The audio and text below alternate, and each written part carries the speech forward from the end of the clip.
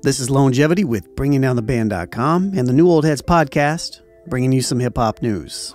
The 90s hip hop duo Black Sheep have filed a class action lawsuit against Universal Music Group for a whopping $750 million.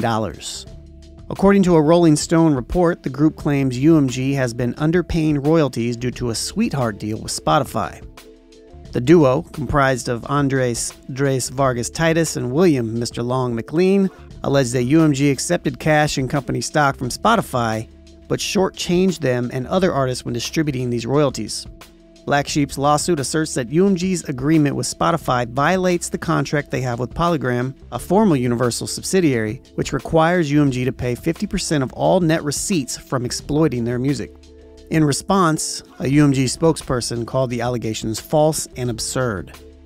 In quote, Universal Music Group's innovative leadership has led to the renewed growth of the music ecosystem to benefit recording artists, songwriters, and creators around the world. UMG has a well established track record of fighting for artist compensation, and the claim that it would take equity at the expense of artist compensation is patently false and absurd.